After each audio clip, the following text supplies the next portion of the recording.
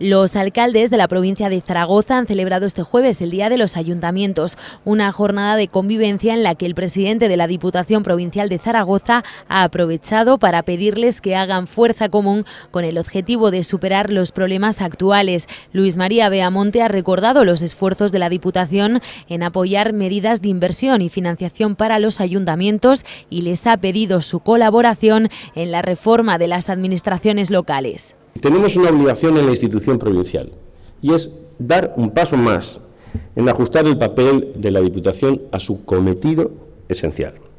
Lo hemos hecho con otras materias, con turismo, con algunas otras secciones, y ahora nos va a tocar hacerlo también con otras materias.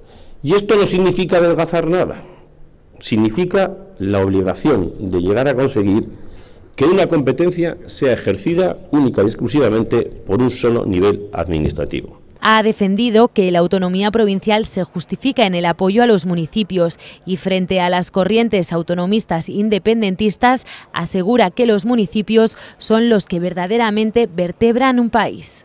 Quien verdaderamente vertebra un país es el municipio. Y a más municipio hay más unión. Y a más municipio hay más solidaridad. Y a más municipio hay menos jaleos también. Y a más municipio hay más nación y a más municipio hay más España, que es lo que toca ahora, precisamente. Porque en el mundo local no hacemos tanto ruido como otros.